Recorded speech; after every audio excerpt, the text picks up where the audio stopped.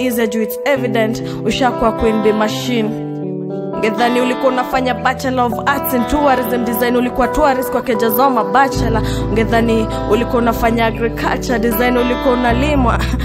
Na wanda hata daro ulianza kushika jembe.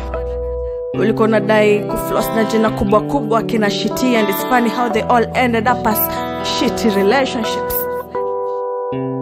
tuseme ulikuwa public toilet design walikuwa na kudampia shit na we kazi ni kuziflash. Wakikuita pati so lazima wacheze na panti campus girl.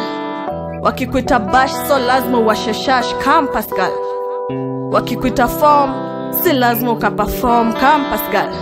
Akikupeleka out si lazima mumekout hapo ndio ulimes ukacha kuandres akakutia sumu sauna wakulaumu kumbuka vile kila wikendi pati zako zilikuwa zinaanza 6 till dawn but tuko almost kukuweka 6 feet down.